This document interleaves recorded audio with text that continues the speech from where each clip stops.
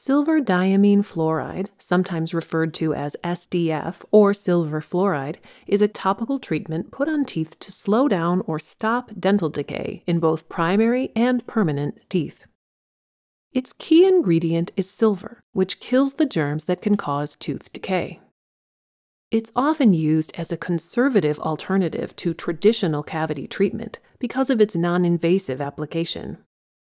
Silver diamine fluoride is particularly useful for managing tooth decay in children and in patients with developmental disabilities, behavioral issues, or who are fearful of needles or dental drills.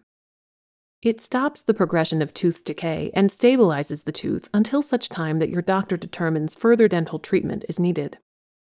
Before it is applied, your doctor may place cotton, gauze, or a rubber dam to help isolate the area from saliva moistening the affected teeth. Then, a vacuum suction tool is used to remove any remaining moisture from the surface. Next, the SDF is applied using a small brush to the area affected by a cavity. When applied to a tooth with a cavity, the SDF hardens the softened tooth structure, turning the damaged portion of the tooth black. Yet, if applied to a primary tooth, the child's permanent tooth that replaces it will not be stained. During the application, if SDF touches the lips, skin, or gums, a temporary brown or white stain may appear for several weeks.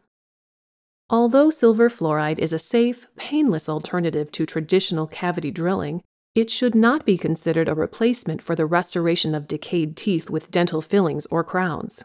Rather, it is an effective interim therapy used as part of a comprehensive treatment plan supervised by your doctor.